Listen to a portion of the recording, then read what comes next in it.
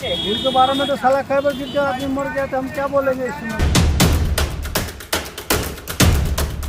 अगर इस पुल से बड़ी गाड़ी जाती है तो ये पुल थरथराने लगता है। सरकार की बात कर तो लोग कह रहे हैं कि सरकार हिल रही है, लेकिन ये पुल भी यहाँ हिल रहा है।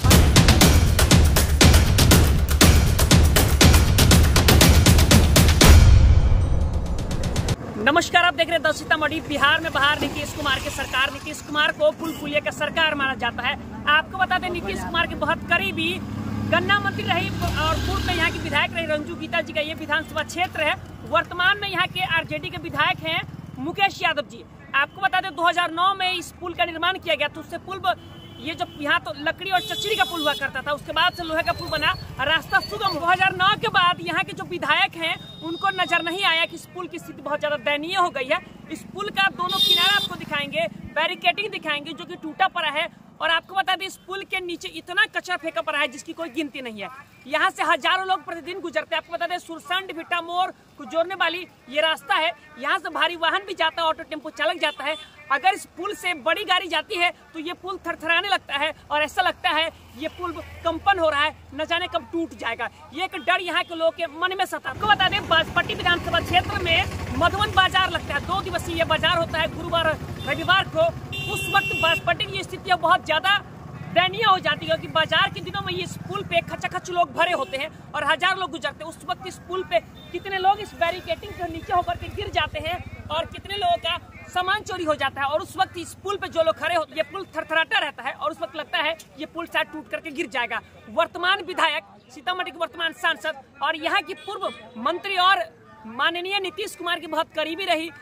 जदयू की नेता रंजू गीता को हम इस वीडियो के माध्यम से आकर्षित करना चाहेंगे। यहाँ की लोग की स्थिति बहुत ज़्यादा दयनीय है, कृपया इस पर ध्यान दिया आपको बता दें कि सीतामढ़ी के बागपट्टी विधानसभा क्षेत्र में ये पुल है, ये पुल मधुबन को जोड़ती है। इस पुल की वर्तमान स्थिति ये है, अगर सरकार की बात करें तो लोग कह रहे हैं कि सरकार हिल रही है लेकिन ये पुल भी यहाँ हिल रहा है और ये वर्तमान स्थिति देख लीजिए यहाँ के जो विधायक हैं यहाँ के जो सांसद हैं उनको नज़र नहीं आता है किस स्थिति में यहाँ के लोग रहते हैं। यहाँ के स्थानीय लोगों से हम बातचीत करेंगे आपको बताएँगे क्या कुछ स्थिति है। पुल के बारे में कुछ कहना चाहेंगे? भूल के बारे में तो साला खैबर गिर के आदमी मर गया तो हम क्या बोलेंगे इसमें अच्छा अच्छा। नेताजी लोग ध्यान नहीं देते हैं? नेताजी तो कहते कि बन पास हो चुका हुआ है तो हम क्या कहें?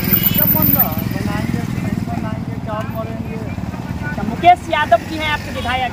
मालूम है मुकेश यादव वो यहाँ का है तो मुकेश यादव जी कभी आप लोग मिलने नहीं आते? है उनको ज़रूरत होगा तब न मिलेगा क्या भाई तो मतलब क्या ज़रूरी मतलब वोट किसमें सिर्फ़ मिलेंगे? वोट तो सिर्फ़ मिलेंगे वोट देंगे तो मिलेंगे तो ज़रूर नहीं नहीं मिलेंगे अच्छा पुल पे खड़े रहते हिलता रहता है पुल, डर नहीं लगता है? जो करता है कि वो इसी एक छः महीना पहले गिर के मर गया। गाड़ी जाम लगता है साला मर जाता है आदमी गिर जाता है बेलागिंग हो जाता है तो उसको हम लोग क्या कर सकते हैं? अच्छा ये रास्ता आगे कहाँ कहाँ तक जाता है? ये रास्ता तो बहुत दूर तक जा रहा है नेपाल बहुत दूर तक जा रहा है। क्या मतलब यहाँ के जो विधायक हैं और पूर्व में मतलब यहाँ मंत्री भी रह चुकी हैं रंजू गीता जी वो मतलब देखती नहीं है कि पुल टूटा पड़ा है? देखती है अपना जो है ना आती है जाती है क्या देखेगी वो भारी वाहन भी जाता है इस पुल से? हाँ।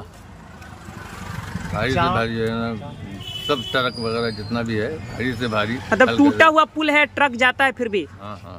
भारी भारी से। हाँ भारी बालू गिट्टी ये वो सब कुछ जाता आता है। उसमें किसी यहाँ से भी जाम हो जाता है ये बहुत।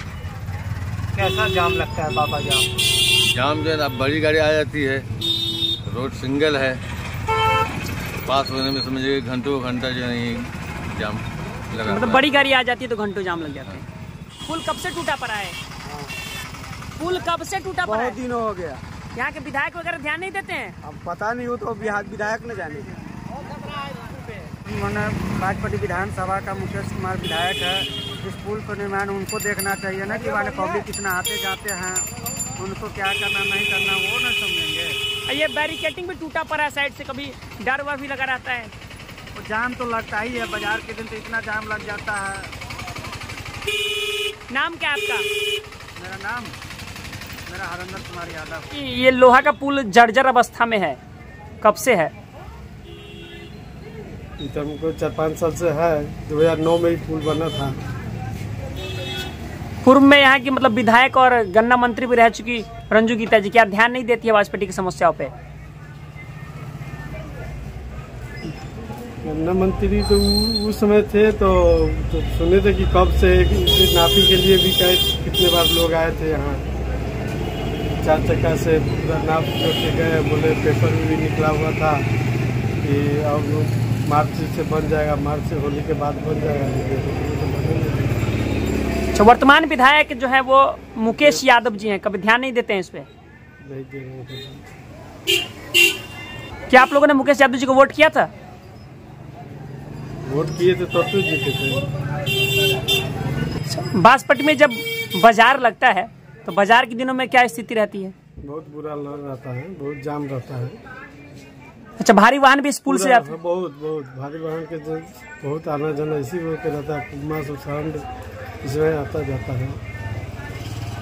उसके बाद भी किसी का ध्यान नहीं जा रहा है? नहीं। कभी कोई हादसा भी हुआ है यहाँ पे? वही पर्व त्योहार के जो टाइम आता है ना छठ दिवाली ईद बकरीद उसमें यहाँ पर जाम लगता है तो कितना के जेबी कटा जाता है पैसा छीनने आ जाता है। मैंने पुला पर से गिर जाता है। सीतामढ़ी की तमाम छोटी बड़ी खबरों को देखते रहने के फेसबुक इंस्टा यूट्यूब ऐसी जुड़ सकते हैं। धन्यवाद।